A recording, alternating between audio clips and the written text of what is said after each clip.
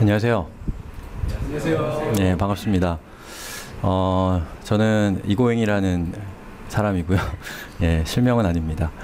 어, 생활 코딩이라 활동을 하고 있습니다. 그리고 오늘부터 다음 주 월요일 이렇게 이틀 동안 여러분이랑 같이 자바스크립트라는 기술에 대해서 어, 같이 알아볼 겁니다. 그 이렇게 수업 시작하려고 하니까 낯이 익는 분도 계시고 처음 뵙는 분도 계세요. 오늘 처음 수업 나오신 분. 예, 반 정도 되네요. 그죠? 예. 저번에 우리가 이틀 동안 그 HTML이랑 CSS에 대한 수업을 했습니다. 그리고 제가 뭐 공지 드린 것처럼 예, 기본적으로 HTML, CSS를 어느 정도 숙지하신 분들 대상으로 제가 모집을 했어요. 예. 그런데 혹시 HTML, CSS 잘 모른다고 해도 뭐 너무 부다, 불안해하실 건 없어요. 예. 어, 걔를 먼저 알면 좋지만 사실 오늘 배울 내용은 HTML이 거의 나오지 않을 겁니다. 아마 HTML은 다음 주 월요일 날 진행하는 수업에 나올 거니까 여러분들한테 한 3일에서 4일 정도 시간이 있어요. 그러니까 생활 코딩에 보시면 자 여기 이게 생활 코딩 홈페이지입니다. 자 여기 클라이언트 쪽으로 가시면 여기 HTML 수업 그리고 CSS 수업이 있습니다. 저거를 그 시간 동안 좀 보시고 오시면 이제 다음 주 월요일 날 제가 수업하는 내용을 따라오시는데 아무 문제가 없을 거예요. 예, 그러니까 혹시 HTML, CSS 모른다고 걱정하실 필요는 없습니다. 그래서 오늘 우리가 배울 내용은 음, 자바스크립트라는 그 프로그래밍 언어에 대해서 우리가 배울 겁니다. 자바스크립트. 자, 수업 뭐 시작하기 전에 혹시 뭐 궁금하신 거 있나요? 저는 첫 번째 질문하시는 분들한테 분한테 이번에는 한, 항상 선물을 드립니다. 예, 우리 수업의 분위기를 잘 열어주시는 분이니까. 예. 물어보겠습니다. 그 이고영님은 생활코딩 이제 서버 사이트를 이제 돌리실 때 예. 호스팅을 사셨는지 아니면 어떻게 돌리고 계시는지 어, 저는 이제 클라우드 컴퓨팅을 쓰고 있어요. 예, 뭐 정확하게는 아마존 웹 서비스에서 지금 돌아가고 있고요. 어, 어, 그거는 이제 얼마나 사용하느냐에 따라서 달라져요. 예, 그래서 어, 얼마라고 딱 특정해서 말씀드리긴 힘들고요. 어디 어디 업체 쓰세요? 아마존. 예, 아마존에서 어, 아마존 걸 쓰고 있습니다. 월정액이에요. 음, 아니에요. 월정이 아니다. 사용량에 대해서. 예, 사용하는 만큼 사, 내요, 내요. 쓰면 비용이 부담스럽겠네요. 부담되죠. 예, 절약해야죠. 절약하려고 엄청나게 많은 꼼수를 써야 됩니다. 예. 그래서 뭐 답변이 됐나요? 예, 제가 서버를 직접 물리적인 서버를 가지고 있지 않습니다. 예, 한 번도 이 서비스가 돌아가고 있는 서버를 제가 실물을 본 적 없어요. 예, 사실은 실물이 존재하지 않습니다. 예, 클라우드 컴퓨팅 가상화된 환경이기 때문에 자, 또 궁금하신 거 있나요? 아, 선물 드려야죠. 자, 알겠습니다. 예. 책 제목이 스매싱 북. 예. 저희 수업한다고 하니까 예. 그 웹 액추얼리에서 예. 선물로 드리라고 하셔서 제가 준비해 왔습니다. 선생님께서 예. 아, 두 번째는 선물이 없죠. 예. 그리고 어르신은 저번에 받으셨죠? 예. 저 강의에서 예. 지금 네 가지를 가르쳐 주시는데 예. 지금 제로보드하고 예. 또 하나 뭐 제로보드가 그렇게 크게 예. 강의 따로 하시는 생각 없으세요? 어, 지금은 없어요. 어차피 제로보드는 들어가야 되는 라인이죠. 어, 그렇진 않습니다. 예, 제로보드 그걸 지금 네 제로보드는 음, 뭐 우리가 배우는 HTML, CSS, 뭐 자바스크립트 이런 것들이 사용이 돼서 이미 거의 다 완성되어 있는 형태의 소프트웨어예요. 예, 왜냐하면 뭐 홈페이지를 운영한다고 하면 결국에 다 비슷비슷하게 돌아가기 때문에 그거를 거의 다 완성된 형태로 제공을 하고요. 거기에 이제 필요한 것들이 있을 거 아니에요. 왜냐하면 게- 그 제로보드에서 딱 만들어진 거 그대로 사용할 수는 없으니까 그런 경우에 이제 그걸 수정하기 위해서는 스킨을 수정한다거나 아니면 기능을 확장한다고 하면 플러그인을 추가한다거나 그런 식으로 해서 사용을 하는 거기 때문에 제로보드는 사실상 거의 완제품이라고 보시면 됩니다. 홈페이지에 대한. 그런데 그거를 그대로 사용하는 경우는 뭐 아주 많지는 않습니다. 약간씩은 좀 변형을 해야 되기 때문에 그런 경우에도 우리가 듣는 수업이 예, 유효해요. 예, 사용할 때가 많이 있습니다. 그다음 P, PD, 그 하나 더 있었죠. PHP. 네, 그것도 꼭 필요하죠. 서버에 관계되고 있습니다. 어, 제로보드를 하신다면 PHP를 좀 보시면 좋아요. 왜냐하면 제로보드가 PHP로 만들어져 있기 네. 때문에. 다음 주에 선생님 시간 나면 보강이만 좀 따로 있으신지 예. 이양을 묻고 싶어요. 예, 일정은 있는데 언제 할지는 모르겠어요. 지금 하고 있는 클라이언트 수업을 한 번 더 할 수도 있고. 아. 예. 왜냐면 제가 녹화를 못 해가지고 예, 녹화를 사실 오늘 주, 오늘 지금 하고 있어요. 하고 있는데 원래 첫 번째 수업부터 했어야지 쭉 못 오시는 분들이 따라올 수 있어서 좀 아쉬워서 다시 한번 클라이언트 강의를 할까 말까 생각 중입니다. 자, 또 질문 있나요? 없어요? 시작할까요? 자, 오늘 여기 오신 분들 중에 어, 프로그래밍이 처음이신 분들 HTML, CSS 해보신 분들 빼고 예, 완전히 프로그래밍이 처우시, 처음이신 분들 이러면 손 들기 힘들어지나요? 제가, 제가 뭐 아니 그거 뭐 그냥 올 수도 있어요. 예, 뭐 그 HTML, CSS 잘 모르시는데 온다고 그게 뭐 잘못된 건 아니죠. 예, 없으세요? 예. 왜냐면 제가 이제 수업을 아예 어느 레벨부터 시작해야 될지를 결정해야 되기 때문에 여쭤보는 겁니다. 부담 드리려는 거 아니에요. 예, 말씀하세요. 예? 어떤 경험이 있으세요? 옛날에 90년대, 2000년대 초반에 메모장으로 HTML 하드코딩을 배웠어요. 아, 예, 그 정도면 괜찮습니다. 예, 충분합니다. 예, 예. 아, 마이크 볼륨이 이게 최대인데. 어, 잠시만요.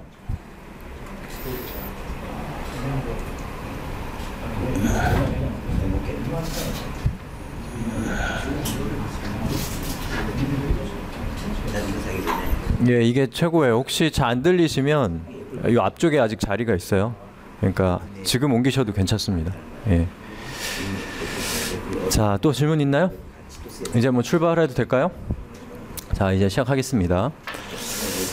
음, 자, 출발하겠습니다. 예. 자, 그 우리가 지금부터 배울 건 이제 자바스크립트라는 프로그래밍 언어입니다.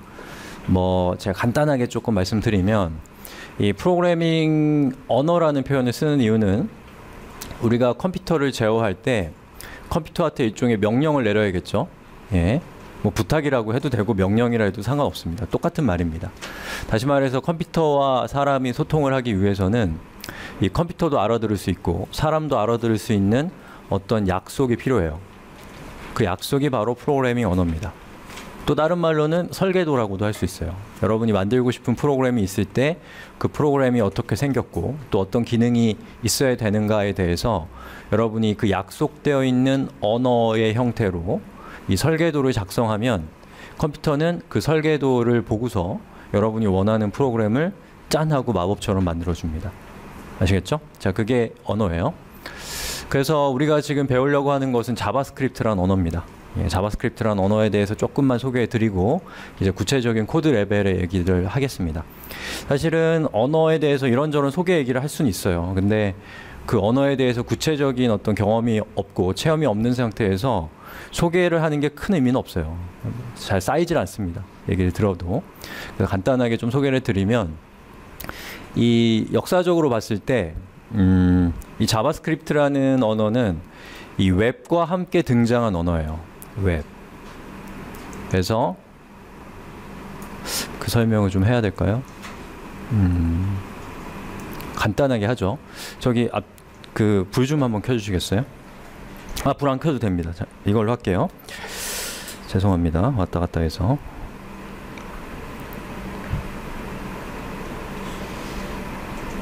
자, 수업하면서 중간에 궁금하신 거 있으면 뭐 언제든지 물어보세요. 자, 우리 수업에서 원래 그 HTML, CSS 수업에서도 다 말씀드린 거지만 또 처음 어, 합류하신 분들도 있기 때문에 간단하게 조금 말씀드리면 어, 우리 수업에서 제일 중요한 거는 이겁니다. 뭔지 맞춰보세요. 저번 주에 나오셨던 분들. 클라이언트. 저번 주는 아니죠. 예. 클라이언트죠. 그리고 또 뭐죠? 서버가 우리 수업에서 제일 중요한 내용입니다. 그래서 클라이언트는 고객이란 뜻이죠. 고객님. 그리고 서버는 아 고객이 호갱할 때 고- 헷갈렸네요. 고객 갑이죠. 그리고 서버는 을입니다. 그래서 이 서버에는 뭐 예를 들면 여러분이 구글, 네이버 이런 데 접속한다고 하면 구글이나 네이버가 가지고 있는 컴퓨터 그 컴퓨터에는 그 각각의 서비스의 정보가 담겨 있죠. 그 정보를 가지고 있는 서버 서비스 그 컴퓨터가 서버입니다. 그리고 여러분이 그러한 사이트에 접속할 때 사용하는 그 컴퓨터 웹 브라우저가 설치되어 있는 그 컴퓨터가 클라이언트예요. 그래서 여러분이 주소창에다가 URL을 쫙 쳐서 엔터를 땅 치면 그게 여러분의 그 웹브라우저에 설치되어 있는 컴퓨터를 통해서 인터넷을 경유해서 이렇게 서버에게 여러분이 필요한 정보를 요청하게 되는 거예요. 그러면 서버는 뭐 구체적으로 걔가 어떤 메커니즘으로 돌아가는지 우리는 몰라요. 우리는 모르지만 어쨌든 서버는 그 요청을 받을 수 있습니다. 그럼 받으면 그 사람이 요청한 정보를 이 컴퓨터에서 주섬주섬 뒤져서 그거를 이렇게 고객인 클라이언트에게 응답하게 됩니다. 자, 그래서 클라이언트 쪽 컴퓨터는 요청하고 서버 쪽 컴퓨터는 응답하는 이 관계가 이 인터넷 위에서 돌아가는 모든 기술들이 다 이러한 관계를 통해서 동작해요. 그래서 지금 제가 말씀드리는 것은 이건 특, 특별히 웹에 국한된 것이 아니고 인터넷에서 동작하는 또는 이 컴퓨터가 아니라 다른 컴퓨터와 통신하는 기능이 있는 모든 시스템들은 반드시 이러한 구조를 갖게 되어 있습니다. 아시겠죠? 만약 여러분이 스카이프를 한다 또는 카카오톡을 한다 그러면 결국에는 서버를 통하게 되어 있습니다. 그때도 클라이언트와 서버라는 개념은 존재합니다. 아시겠죠? 자, 그래서 제가 그 이 얘기를 하면서 어, 저번 시간에는 인터넷의 역사에 대해서 조금 설명을 드렸었죠. 간단하게 조금 말씀을 드리면 자, 이렇게 역사의 시간표가 있다고 하면 이 화살표입니다. 자, 여기서 굉장히 중요한 사건이 1960년도에 있었어요. 뭐죠? 우리 저번 학생분들? 뭐, 1960년도에 무슨 일이 있었나요? 인터넷이 등장을 하죠. 인터넷은 전 세계에 있는 컴퓨터들을 네트워크로 연결하는 이 세상에서 가장 거대한 컴퓨터 네트워크 시스템이 인터넷입니다. 예. 그리고 1990년 초반에 굉장히 중요한 사건이 또 있었습니다. 뭔가요? 웹이 등장하죠. 웹. 유럽 입자물리 연구소에서 어, 어떻게 하면 이 연구 결과를 효율적으로 서로 상호 교, 그 교환할 수 있을 것인가 라는 것을 연구하던 팀 버너스리라는 분이 이 웹이라고 하는 것을 고안합니다. 그래서 혼자서 웹 서버도 만들고 웹 브라우저도 만들고 HTML도 만들고 그리고 HTML가 아, 웹 서버와 웹 서버와 웹 브라우저가 서로 통신을 HTML을 주고받기 위한 표준인 통신 규약인 HTTP까지 만듭니다. 자, 이 얘기는 몰라도 상관없어요. 그냥 그렇게 듣고 넘어가시면 됩니다. 자, 이후 이 이후로 이 웹이라고 하는 것이 폭발적인 성장을 하게 되죠. 폭발적인 성장을 하는 과정에서 이 1990년도에 만들어진 웹 기술이 뭐라고 했죠? HTML입니다. HTML은 웹페이지를 만들기 위한 언어 라는 것 정도는 아마 알고 계실 거라고 믿을게요. 자, 그래서 이 HTML이라는 것으로 또 아주 큰 사건이었습니다.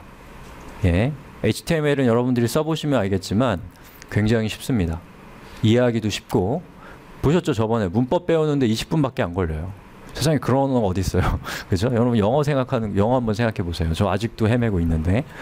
자 그리고 그 코드를 작성한 사람이 실수를 잘못해도 어떻게든 보여줍니다. 예, 예쁘게는 안 보여줘도 어떻게든 보여줘요. 굉장히 관대한 시스템이에요. 그래서 제가 저번 시간에 이 팀 버너스리를 세종대왕에 비교 비유를 했죠. 예, 굉장히 이 사람들이 웹을 쉽게 사, 인터넷을 쉽게 이용할 수 있도록 하는데 굉장히 큰 공헌을 하신 분입니다. 여러분들 팀 버너스리라는 사람 그 분은 어, 이 인터넷과 관련된 일을 하신다면 꼭 한번 어떤 사람인지 찾아보시기 바랍니다. 자, 그래서 이 웹이라는 게 폭발적인 성장을 하게 돼요. 폭발적인 성장이라는 것은 아주 많은 사람들이 웹을 쓴다는 얘기입니다. 그리고 또 하나는 웹이 점점 심각한 시스템들을 어, 제어하거나 심각한 일에 사용된다는 얘기예요. 예. 그럼 어떻게 될까요? 기존의 초창기에 있었던 이 웹의 모습이 팀 버너스리가 1990년에 딱 만들었던 웹의 모습 그대로 사용이 될까요? 아니겠죠. 초창기의 웹은 우리가 지금 알고 있는 웹과는 많이 달라요. 기능이 별로 없습니다. 뭐 그렇지 않았지만 이미지가 없다고 생각해 보세요. 이미지를 표시하는 능력이 없다라고 생각해 보세요. 그러면 굉장히 구리죠. 예, 그러니까 시대가 이렇게 흘러가면서 또 웹이라는 게 중요한 일을 담당하게 되면서 이 HTML이라는 기술이 더 많은 그 시대의 어떤 필요성들을 수용해야 되는 그러한 상태에 놓이게 된다는 거죠. 그 과정에서 기술이 점점 복잡해집니다. 예. 그리고 우리는 이제 후대잖아요, 후대. 선대가 아니라 후대 개발자 입장에서는 그 복잡해져 있는 상태를 배워야 되기 때문에 굉장히 어렵게 느껴지는 거죠. 그런데 사실은 이 역사가 진행되는 과정에서 예를 들어서 이미지가 없다가 이미지가 들어왔을 때 그 시대 사람들이 얼마나 환호를 했겠어요. 우리 같은 잘 안 들리겠지만 예. 그런 맥락들이 있다라는 거예요. 그래서 뭐 웹이 됐건 어떤 것이 됐건 간에 공부하실 때 이런 역사적인 맥락들을 잘 짚어보시면 훨씬 더 덜 지루하게 공부할 수 있습니다. 그리고 왜 이런 기술이 또 왜 이 기술이 이런 모습을 갖게 됐는가에 대해서 머리로도 이해할 수 있고 마음으로도 공감할 수 있게 되는 거예요. 자 그렇게 웹이 쭉 발전하다가 처음에는 이 HTML이 어떤 역, 두 가지 역할을 다 담당했어요. 자 웹이라는 건 기본적으로 뭐를 주고받기 위한 시스템이겠어요? IT에서 I에 해당되는 건데 뭘까요? 정보죠. 인포메이션이죠. 그래서 HTML은 기본적으로 정보를 위한 정보를 쉽게 서로 주고받기 위한 시스템입니다. 그렇죠? 그리고 또 하나는 사람들이 그냥 못생긴 못생긴 텍스트만 주고받아도 처음엔 행복하지만 점점 그 못생기고 구린 모습에 사람들은 실증을 느낍니다. 왜냐 우리 인간은 단지 정보만 필요한 게 아니라 그 정보가 아름답게 포장됐으면 하는 마음을 갖게 되어 있어요. 그렇죠? 심미적인 존재이기 때문에 그래서 이제 이 HTML 안에 여러 가지 기능들이 추가되는 과정에서 HTML이 정보도 담당하고 그리고 디자인이라고 하는 예쁘게 보이는 것까지 이 HTML이란 기술이 혼자서 다 담당을 했었습니다. 자 그렇게 되니까 어떤 문제가 생기냐면 이 HTML 안에 정보도 들어가고 디자인적인 디자인과 관련된 코드까지 막 주렁주렁 덕지덕지 달리게 되는 거예요. 자 그럼 그게 어떤 문제가 생기냐면 우리 사람한테는 별로 문제가 없어요. 사람은 딱 보면 글씨가 크면 얘가 중요한지 압니다. 글씨가 작으면 얘는 덜 중요하다는 걸 알 수 있어요. 사람은. 그런데 검색 엔진이나 또는 그 시각장애인들이 사용하는 이 screen reader 같은 프로그램들은 어, 글씨가 크다고 중요한 정보라고 생각하지 않습니다. 중요한 거는 중요한 정보는 뭐 예를 들면 타이틀이라는 태그 안에 있다거나 H1과 같은 태그 안 속 안에 있는 정보가 중요한 정보인 거죠. 그래서 이러한 여러 가지 그 기계들이 이 HTML을 해석하는데 여러 가지 어려움들이 있었기 때문에 어, 굉장히 중요한 결정을 내려요. 그게 뭐냐? 이렇게 발전하는 과정에서 CSS라는 것이 등장합니다. CSS라는 기술이. 그래서 HTML에서 디자인과 관련된 기능을 완전히 분리하고 CSS라고 하는 완전히 새로운 언어에게 디자인을 전담시켜요. 그 얘기는 뭐냐? HTML의 영향력이 준 게 아니라 HTML에게 있어서 정보라는 역할을 딱 정보라는 역할만 담당하도록 한 겁니다. 예, 그게 이제 CSS가 등장한 배경입니다. 그리고 이제 CSS가 등장하는 것도 뭐 중요한 흐름이지만 우리가 배우려고 하는 이 지금 시간에 뭐 거는 뭐냐면 이 자바스크립트라는 기술입니다. 자바스크립트. 자, 태초에 웹이 등장했을 때는 HTML밖에 없었어요. 근데 HTML이 제가 말씀드린 것처럼 여러 가지 그 웹이라고 하는 것이 여러 가지들을 담당하면서 그 더 많은 기능들이 필요해지고 그 과정에서 CSS가 도입된 거라고 말씀드렸죠. 그리고 동시에 또 하나 도입된 기술이 있는데 그게 바로 자바스크립트입니다. 자바스크립트는 이 넷스케이프 혹시 아세요? 지금 파이어폭스 아시죠? 파이어폭스의 전신이 넷스케이프입니다. 예. 넷스케이프가 마이크로소프트랑 경쟁을 하다가 마이크로소프트가 갖고 있는 그 뭐죠? 영향력, 윈도우의 영향력에 밀려서 넷스케이프가 죽기 직전에 open source로 해놓고 죽었어요.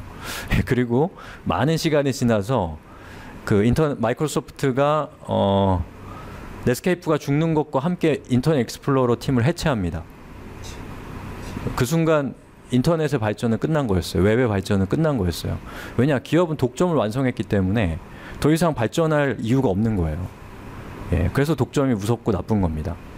예, 그런데 그건 그 기업을 탓할 일만은 아니에요. 왜냐하면 기업은 독점을 원래 기업의 지상 과제는 독점이니까 그거를 견제하는 건 시장, 경쟁자 또는 사용자들인 거죠. 아무튼 이제 파이어폭스가 등장하면서 크롬도 나타나고 사파리도 나타나면서 이제 웹 브라우저가 다시 발전하기 시작하면서 마이크로소프트가 부랴부랴 인터넷 익스플로러 팀을 다시 구성해서 거의 한 4년, 5년 만에 새로운 버전의 인터넷 익스플로러가 나온 거죠.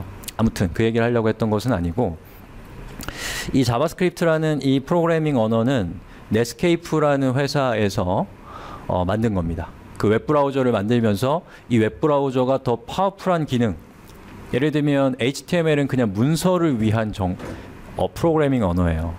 그래서 문서를 표현할 수는 있지만 예를 들면 여러분들 이런 거 있죠. 클릭하면 다음 이미지로 보인다든지 아니면 그 서버 쪽으로 어떤 정보를 전송하기 전에 비밀번호를 입력했는데 그 비밀번호가 어 뭔가 양식에 맞지 않았을 때 잘못됐다라는 메시지를 보여주는 기능이라든지 예? 이런 것들은 HTML의 능력 바깥의 일입니다. HTML은 문서를 만드는 그 표준이기 때문에 바로 그러한 HTML의 한계를 뛰어넘기 위해서 넷스케이프에서 자바스크립트라는 프로그래밍 언어를 만들고 그 프로그래밍 언어를 통해서 HTML을 제어할 수 있게 한 거예요. 자, 그 제어의 의미는 지금은 그냥 뜬구름 잡듯이 생각될 수밖에 없어요. 그 우리 월요일 날 수업하면서 도대체 왜 HTML을 자바스크립트가 제어하는지 이런 것들은 구체성은 그때 우리가 파악해 나갈 겁니다. 아무튼 이제 넷스케이프가 자바스크립트를 만들었고 넷스케이프가 자바스크립트를 만들어서 넷스케이프 위에서 돌아가는 웹페이지가 굉장히 powerful해진 거예요. 그러니까 마이크로소프트도 예, 거기에 뒤질 수가 없기 때문에 이제 제이스크립트라고 하는 언어를 이 자바스크립트를 그대로 어, 보고 만들어서 어, 똑같은 언어가 만들어진 거죠. 예. 그래서 모든 부- 모든 브라우저들이 지금은 이 자바스크립트를 지원하고 있는 상태입니다. 그래서 우리가 제가 저번 시간에 굉장히 중요하다고 말씀드렸던 거 한번 그 정리하고 넘어가면 자 HTML, CSS, 자바스크립트가 있어요. 자 여기서 HTML이 하는 역할이 뭐라고 제가 말씀드렸죠? 그렇죠. HTML은 정보를 표현하는 겁니다. 그리고 이 정보를 표현한다라는 것에 대한 인식이 굉장히 중요하다는 것도 제가 말씀을 드렸죠. 비즈니스적으로나 또는 그 휴머니즘적으로나 윤리적으로나. 자, 그 다음에 CSS는 디자인을 담당한다라고 했습니다. 예. 그 다음에 우리가 배울 자바스크립트는 제어를 담당합니다. 자, 그런데 자바스크립트는 HTML이랑 되게 비슷해요. HTML은 많은 사람들이 쉽게 웹페이지를 작성할 수 있게 하기 위해서 되게 쉽게 고안된 언어, 쉽게 사용할 수 있는 언어라고 말씀드렸죠. 자바스크립트도 그래요.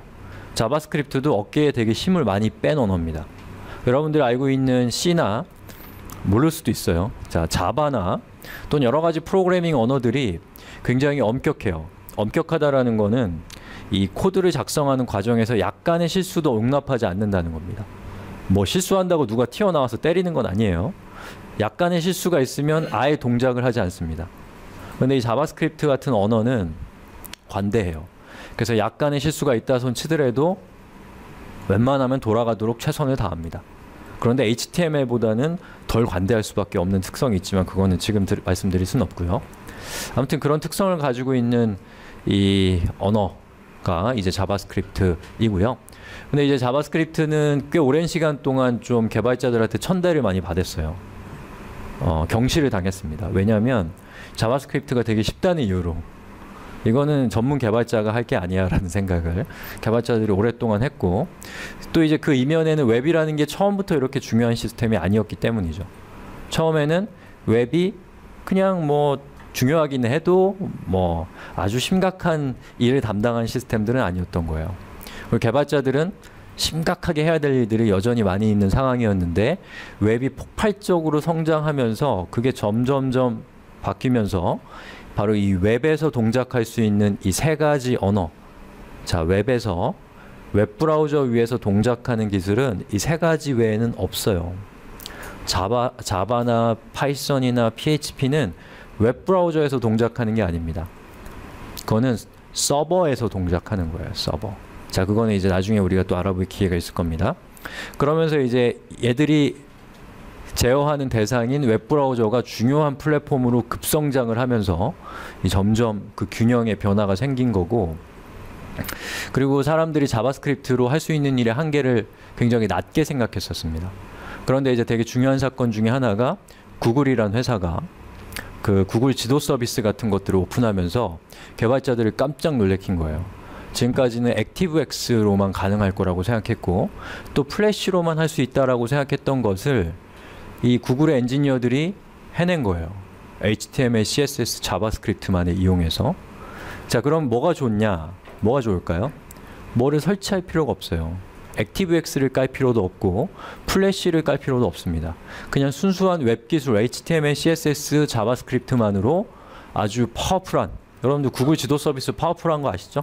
예, 그런 powerful한 서비스들이 가능해지면서 이제 개발자들이 뭐랄까요 이 웹 기술 그 중에서 자바스크립트라는 기술을 바라보는 시각이 완전히 달라지게 됩니다. 그래서 지금은 아무도 자바스크립트를 멸시하지 않아요. 예, 여러분도 멸시하시면 안 돼요. 자바스크립트는 굉장히 중요한 프로그래밍 언어입니다.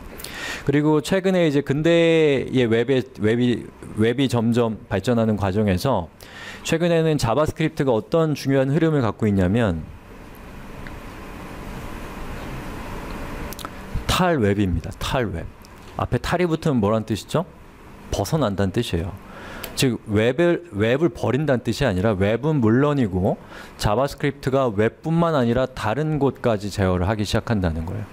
자바스크립트는 그냥 언어예요. 프로그래밍 언어예요. 예를 들어서 옛날에 그런 거 있었죠. 그런 얘기 있었죠. 우리 한글 한글이 저쪽에 어딘지 잘 모르겠어요. 동티모르였나요? 아무튼 이게 맞는 말인지 모르겠습니다. 저 검증된 얘기 아니에요. 한글이 다른 아직 문자가 없는 나라에 문자로 사용된다라는 얘기가 있었어요. 뭐 들은 분도 있을 테고. 자, 그것과 비슷한 일이 일어나는 거예요. 자바스크립트가 지금까지는 웹 브라우저를 제어하기 위한 언어였는데 어, 자바스크립트가 소위 말해서 그 팔자가 바뀌면서 예, 개발자들의 인식이 확 바뀌면서 자바스크립트가 웹, 웹 브라우저뿐만 아니라 굉장히 많은 분야를 프로그래밍적으로 제어하기 위한 언어로 사용되기 시작합니다. 자, 대표적으로 얘기할 수 있는 게 구글의 어, 문서 도구. 구글 문서 도구 아시나요? 구글에서 제공하는 웹 기반의 엑셀, 워드 같은 거죠. 거기에서도 이제 자바스크립트를 통해서 그 시스템을 제어할 수 있어요. 그럼 어떤 걸 할 수 있냐면 여러분이 구글 스프레드시트에 뭐 친구들 이메일 같은 거를 쭉 정리를 할 거 아니에요? 그리고 이 자바스크립트를 이용해서 그 친구들한테 이메일을 보내면서 그 이메일에 시작하는 부분에 친구의 이름을 넣어서 이메일을 보낼 수 있습니다. 자, 그런 것들이 자바스크립트로 할 수 있게 된 거예요. 또는 자바스크립트는 웹 브라우저만을 제공한 제어한다라고 생각했었는데 오늘날은 자바스크립트가 서버 쪽 프로그래밍 언어로도 사용이 돼요. 네, 이거는 모를 수도 있는데 결과적으로 말씀드리면 PHP의 경쟁자로 자바스크립트가 부상을 하기 시작한다는 겁니다. 또는 파이썬, 자바 이런 시스템들이 사용 그런 시스템들이 하던 것을 자바스크립트가 어, 하기 시작했어요. 뭐 Node.js라는 게 그런 거죠. 그러니까 지금은 거의 자바스크립트 자바스크립트의 시대라고 해도 과언이 아닐 정도로 이 자바스크립트는 굉장히 중요한 프로그래밍 언어로 부상하고 있기 때문에 여러분들이 H, 그 웹을 배우러 오시긴 했지만 이 자바스크립트를 배운다는 것은 웹에 국한되지 않습니다. 예. 그러니까 뭐랄까요? 노력 대비 효용이 좋은 언어예요. 예. 어때요? 할 맛이 나, 할맛 나세요? 예. 자, 이렇게 해서 제가 뭐 전체적인 그 역사적인 맥락 같은 것들을 좀 짚어드렸습니다. 이 수업하는 과정에서 계속 그런 얘기들은 나올 거니까 여기 이 정도로 하고요. 뭐 궁금하신 거 있나요? 제가 한 얘기에서? 예. 웹은 선생님 보시기에 웹은 앞으로 어떻게 발전할 것 같습니까? 글쎄요. 웹은 당분간은 굉장히 중요한 플랫폼으로 계속 발전할 거라고 저는 생각하고 있습니다. 특히나 이제 최근에 이제 웹이 좀 주춤했던 거는 앱이 등장하면서 안드로이드나 또는 아이폰 native 앱들을 일이 많이 사용이 되면서 이제 웹이 약간 주춤하긴 했지만 결국에는 그 뭐랄까요 그 플랫폼마다 다르게 개발하는 게 보통 어려운 일이 아니거든요. 그리고 native 앱을 통해서만 할 수 있는 일이 있어요. 근데 아주 많은 경우에는 그냥 웹으로 해도 충분한 일들이 많이 있습니다. 예를 들면 그냥 홈페이지를 홈페이지 정보를 보여준다. 앱으로 만들 수도 있지만 웹으로 만들어도 돼요. 예. 그리고 이제 컴퓨터 환경 컴퓨터가 점점 성, 사양이 좋아지고 그리고 지- 웹이 지금 가장 큰 어려움 중에 하나는 직접 native 앱을 만드는 것보다 좀 느린 느낌이 있다는 게 되게 커요. 근데 컴퓨터 파워는 좋아지고 또 웹브라우저는 계속해서 성능이 향상되고 있고 이런 여러 가지 추세가 있기 때문에 결국에는 웹으로 구현했을 때 아무 문제가 없는 그런 것들이 많이 있을 거고요. 그리고 제가 말씀드린 것처럼 이 웹이라고 하는 게 멈춰 있는 기술이 아닙니다. 그 시대가 발전하면서 그 시대가 요구하는 여러 가지 기능들이 있어요. 그런 것들을 계속 수용하면서 발전하고 있기 때문에 지금은 웹이라는 것이 다시 탈이라는 말을 쓰면 탈문서화라고 하는 탈문서라는 또 다른 그런 흐름을 가지고 있습니다. 다시 말해서 웹은 문서를 서로 교환하기 위한 언어였어요. 기술이었습니다. 그런데 바- 지금 방금 말씀드린 것처럼 이 탈문서화가 되면서 애플리케이션화 되는 추세가 있습니다. 즉 프로그램, 응용 프로그램의 역할을 웹이 담당하고 있다라는 거죠. 예. 그 중에 이제 대표적인 현상 중에 하나로 얘기할 수 있는 게 어, 구글이 안드로이드라고 하는 자, 자기들의 플랫폼을 가지고 있음에도 불구하고 투트랙 전략을 쓰고 있죠. 뭐죠? 크롬북 또는 크롬 OS라는 개념을 포기하지 않고 계속해서 밀어붙이고 있습니다. 예, 그러니까 구글이라는 회사는 뭐랄까요? 양다리 전략이라고 해야 되나? 예, 세상이 결국에는 웹으로 갈 수도 있다라는 것을 분명히 인지하고 있는 회사고 구글만큼 웹에 웹 덕분에 성공한 회사가 없기 때문에 구글은 어, 웹을 중요하게 생각하는 거죠. 예, 예, 말씀하세요. 저 방금 그 자바스크립트로 그 이- 모든 걸 이렇게 제어한다고 말씀하셨잖아요. 예, 근데 유튜브 같은 경우는 그 화질 좋은 동영상을 볼 때도 이렇게 그냥 일- 그냥 이렇게 어떻게 말씀드려야지 이 플레이가 되는데 네이버 같은 경우는 화질 좋은 거를 이렇게 하려고 하면 수동 설치라고 할때 이렇게 누르고 이렇게 하, 그 동영상을 볼 수가 있는 거거든요. 예. 만약에 네이버 같은 경우는 왜 그렇게 제어를 다 하는 뜻이 그걸 줄 알고 싶고요. 하나만 하나씩 하면 안 될까요? 기억력이 좋지 않아서 일단 그거는 뭐 제가 말씀드리면 뭘 설치하는 이유는 그 일단 그 아마 그리드 컴퓨팅과 관련돼 있을 거예요. 왜냐하면 굉장히 고화질의 정보를 전송한다는 건 결국에 이겁니다. 돈이 들어요. 돈이 돈이 들기 때문에 아주 고화질인 경우에는 프로그램을 설치해서 그 컴퓨터가 직접 일종의 서버 역할을 하도록 하는 서- 프로그램을 설치하는 걸 겁니다. 예. 그래서 네이버 같은 경우는 뭐 저도 자세한 건 잘 모르지만 뭐랄까요? 이 웹을 그 동영상 플랫폼을 놨죠. 그래서 국내에 이제 동영상 플랫폼은 사실상 유튜브가 장악했다고 봐야 됩니다. 예, 그러면서 이제 왜 그 동영상 쪽에 대한 뭐랄까요? 그 경쟁에서 그 네이버가 이렇게 철수하면서 어, 동영상을 안 할 수는 없으니까 좀 저렴한 비용으로 동영상 서비스를 할 수 있는 방법으로 선택한 게 방금 말씀드린 그런 그리드 컴퓨팅 같은 걸 이용하는 거죠. 예. 그거 질문하신 거 맞죠? 예. 그 유튜브는 왜 그걸 그리드 컴퓨팅을 안 하냐? 일단 돈이 많고 그리고 유튜브가 전 세계적인 어떤 뭐랄까요 그 채널이 됐잖아요. 채널이 됐기 때문에 이미 비즈니스화를 할 수 있는 어, 분기점을 넘어선 거의 유일한 업체라고 볼 수 있는 거죠 유튜브가. 예. 규모의 경제에서 이긴 겁니다. 예. 또 다른 거 하나는요. 예. 그 다른 또 하나가 이제 그 의료용 소프트웨어를 하- 하나는 업체인데요.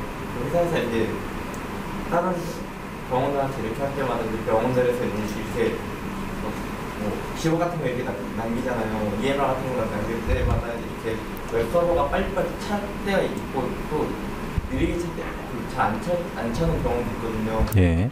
근데 같은 양을 저장을 하더라도 어떤 병원에서는 용량을 차지하는 반면에 어떤 병원에서는 저장을 아무리 해도 용량이 안 차는 경우는 있는데 혹시 그런 것도 좀 일종의 뭐 자바스크립트 같은 것처럼 이렇게 정리를 해서 글쎄요. 그거는 어, 지금 말씀하시는 비즈니스 쪽에 어떤 로직이 사용되고 있는지를 제가 모르기 때문에 예, 어떤 상황인지 저는 알 수가 없, 없네요. 예. 자, 또 궁금하신 거 있나요? 예. 세 가지 언어로 웹을 만든다고 하셨잖아요. 예.